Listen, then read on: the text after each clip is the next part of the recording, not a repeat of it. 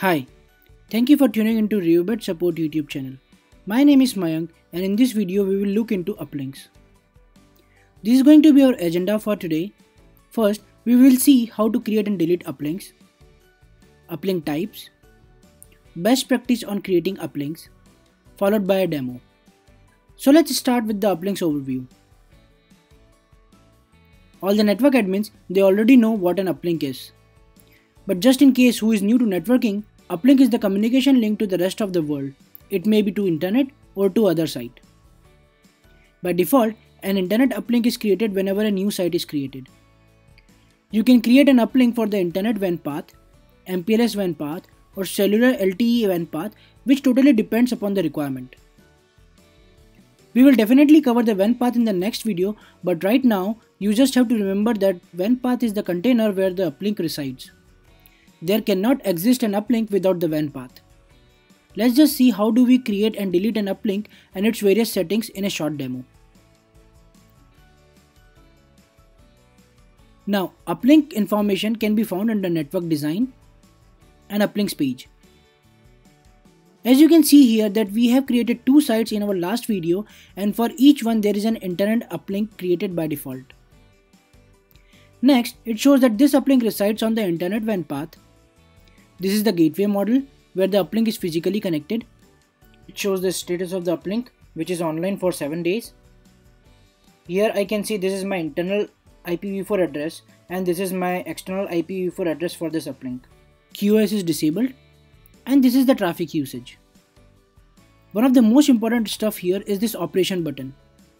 Using this toggle button, you can disable the uplink.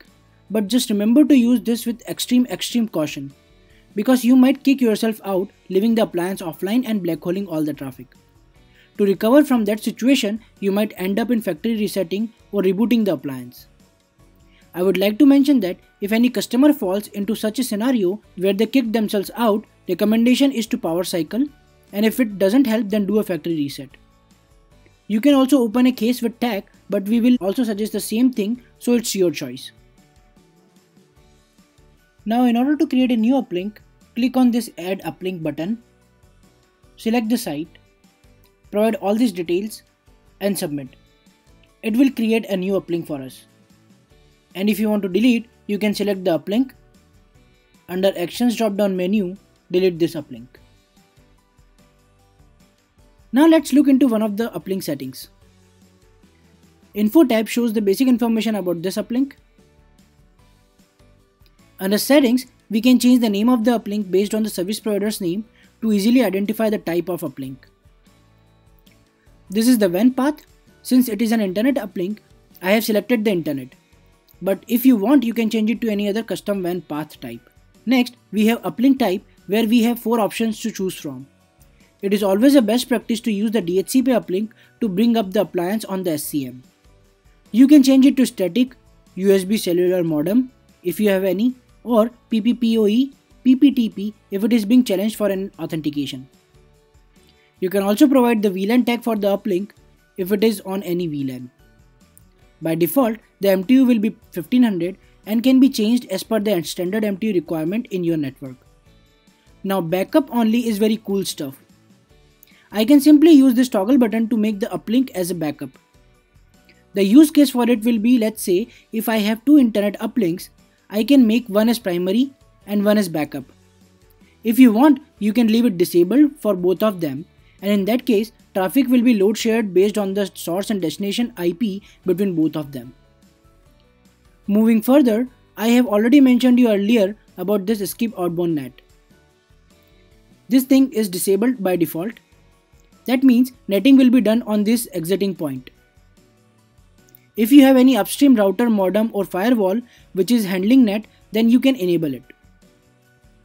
Under Auto VPN, you can prioritize the VPN priority from not using this uplink for Auto VPN to low, medium and high. It is always recommended to use the external IP address for the tunnel. However, you can do it for custom IPv4 as well as internal IP for the private WAN. You can use dynamic DNS registration for uplink public IP for updating the name server in DNS in real time without manually editing it. Under QoS, you can shape the inbound and outbound traffic on the uplinks.